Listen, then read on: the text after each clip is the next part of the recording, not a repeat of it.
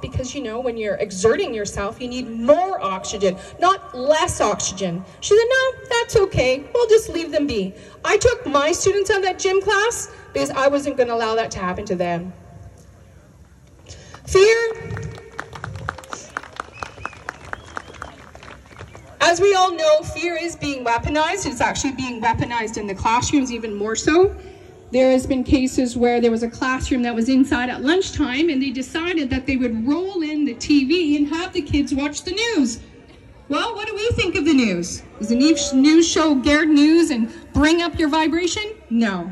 They had these children watch the news saying about the vaccines are safe and effective and wearing your mask and all that. This is not acceptable to have in a classroom. Kids should not be watching the news and be dealing with any of these politics. Schools and politicians have to stop using our kids as pawns in their political sick satanic game because it is yeah. a sick satanic game. That's right. These measures are not safe and effective in school. I want to ask all of you, I want to see a round of hands. How many of you have actually walked inside your child's classroom?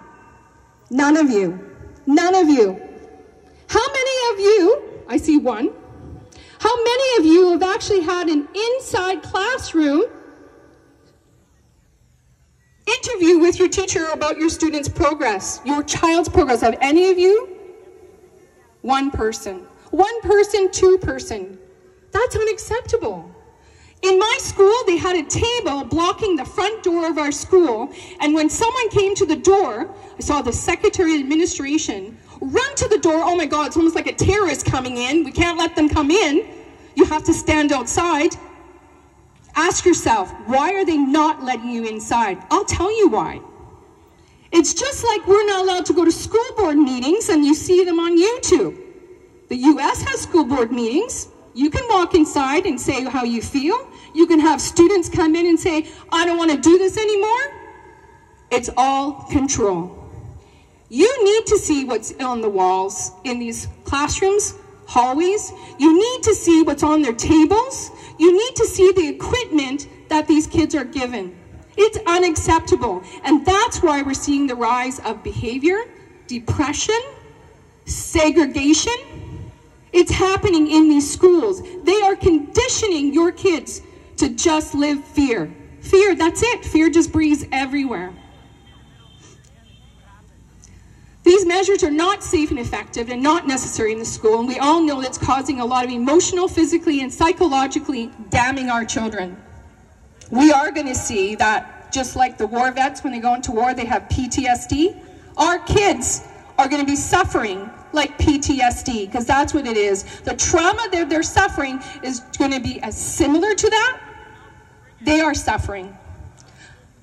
The conditioning is the fear of the virus, and the sanitizing is beyond. Mental health and suicide is skyrocketed. Mass exemptions are isolated. Speaking and singing is banned in the school. We didn't sing birthdays. We didn't sing Canada Day. You know what the garbage that they wanted them to sing? Black Lives Matter song by Raffi. I got the email with the song of all the words they wanted them to sing, but we can't celebrate a child's birthday in the classroom just like we did every year. We can't have Valentine's Day. We can't have any celebration or joy. Are you kidding me? These kids need joy to come to school. They need to celebrate them. But it's not happening. Also with these masks, we're seeing language skills delayed. Special needs are having a very tough time in school, trying to understand why they're having to wear a mask and a face shield. Can't touch your friends, can't touch a ball, can't touch this, can't touch that. It is getting ridiculous. Under Section 11, under the Health Care Act, these schools are violating the liability personnel, giving medical advice by teachers, superintendent or a school board is violating that Section 11, 11 Healthcare Act, you need, out of your obligation to your children, file a complaint now. They are violating that. This is not a new healthcare act that we just made up. It's been there. And we need to use these acts to bring down this corruption.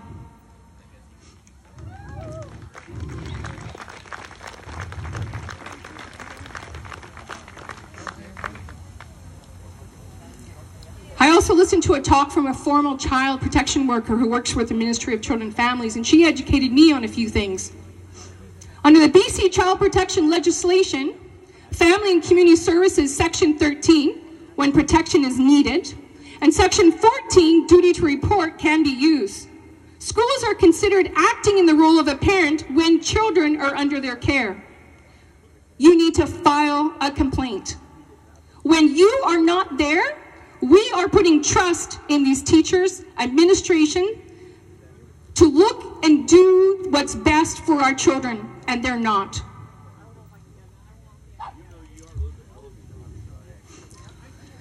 Now, along with the vaccine, um, we all know that they had the Infant Minor Act that they were trying to override with the School Act. The Infant Minor Act used to be 12 years and up, that they did not need consent from any of you. They just changed that recently. Go have a look. It says 19 years and under, you do not need consent to do any medical procedure, testing, or vaccination. What the heck are they doing? They're changing laws right in front of us to suit them best. They can go and jab your child in the classroom while you're happily at work thinking that they're safe without your consent. These people are not medical professionals. They do not know that your child might have an allergy to what's in these vaccines. Do anybody here know what's in these vaccines? No. I know. The inserts for the vaccines are white. They're blank. You can't Google it, you can't find anything. Yet they're vaccinating our kids with unknown substances that they have no freaking clue if it's going to kill them it's going to harm them. And we are seeing it. We are seeing the rise of heart inflammation, Pericarditis, myocarditis, thrombosis, the list goes on and on and on. You need to serve your teachers and the vice principals. they can still hear me. You need to serve your vice principals, administrators, school and board of trustees with the Action for Canada notice that puts them liable. Liable for any testing, because I'll tell you, they do have testing boxes in the classrooms and in the administrative office box. I saw it myself. It's the Swish Spit Test. Since when do our schools become hospitals and clinics? Our schools are supposed to be a place of education, not this political game of turning them all into super soldiers, just getting them to comply. It has to stop with you. You tell your kid that anybody comes to you and tries to get you to test, to put on a mask, to jab something in your arm, you run. Just like we taught them with stranger danger, you tell your kid, empower them that they do not have to listen to any adult in the school system that wants to inject them against their will. We've always told our kids in school, listen to your teacher. No, not this time. Not this time.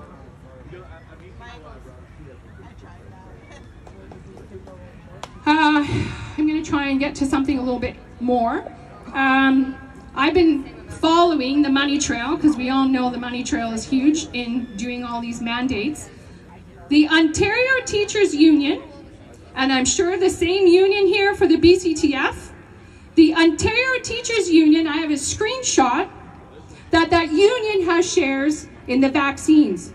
Johnson & Johnson, yeah, I have it all. Johnson & Johnson, Pfizer, Moderna, all AstraZeneca, they have shares in these stocks. What the hell is going on? Why are there shares in stocks for Pfizer? All these vaccine companies, including Costco and the big box stores. I told all the teachers from the BCTF, stop paying your union dues because your union dues are not going to where you think they're going. They're using them for the vaccine that they want to inject in you for you to keep your job. You're paying for your own death. Now, with BCTF, Teri Mooring, who's the president I want you to know that she was served by myself and another lady in June at the front office.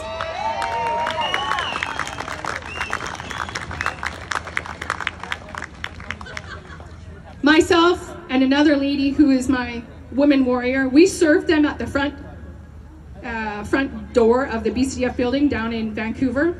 We served them an Action for Canada notice saying that they are liable for any damages that happen to our children. We've also served the Board of Trustees for the Vancouver School Board and we're a delegate. We actually FedEx to them before the meeting. Before the meeting, we had to go through hoops of being a delegate for this meeting. All these meetings are done from the cushiness of their house. Oh, how nice.